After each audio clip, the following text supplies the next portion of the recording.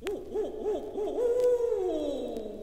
dead of the night, the hoot owl in flight, and the devil was laughing at me. The night I was born, it was said that the owls hooted and flew all night long. An omen that I was an unlucky child, a sign that I'd surely go wrong. As I grew to manhood, I tremble in fear when the owls would hoot mournfully. I grew up believing my soul had been claimed and the devil was laughing at me.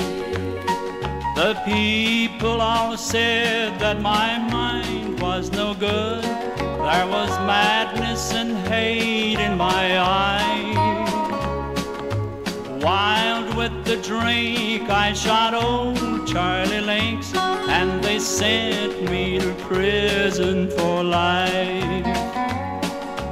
I had a girl they called Lucille. Dream. We met secretly. She'd hold me inside, but the owls would cry like the devil was laughing at me.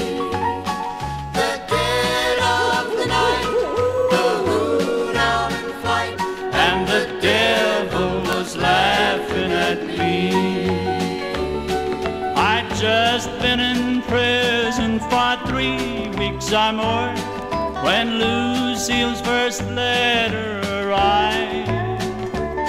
She said she expected a baby that fall, and she wanted me there by her side. I stabbed the first guard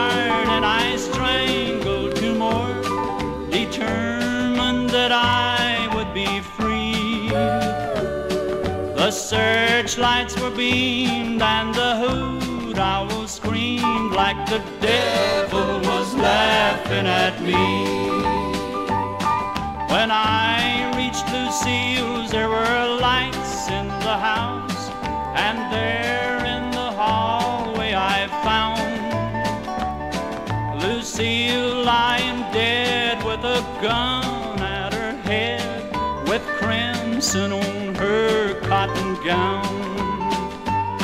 I ran from the house to the swamps that I knew. As I ran, I heard the hounds bay, and one other sound that was running me down. The devil was laughing at me.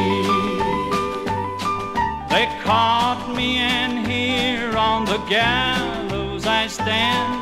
They'll drop me to eternity. One moment of fear and the last sound I hear is the devil laughing at me. The the flight, and the laughing at me.